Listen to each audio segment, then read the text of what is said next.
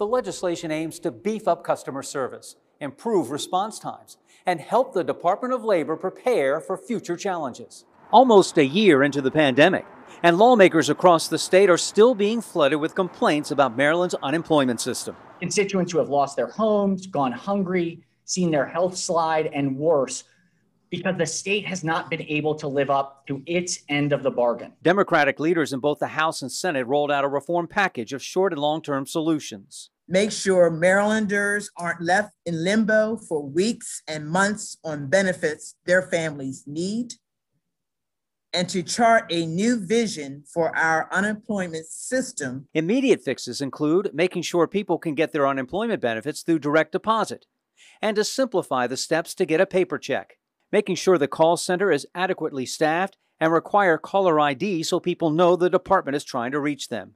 The legislation creates standards that must be met for claims to be resolved. I think what happened is we woke, the pandemic woke a sleeping giant. We have an oversight responsibility that we take very seriously. The legislative package substantially increases the income disregard.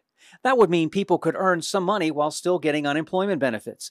It helps businesses cope with the increased costs of unemployment insurance because of the pandemic related layoffs.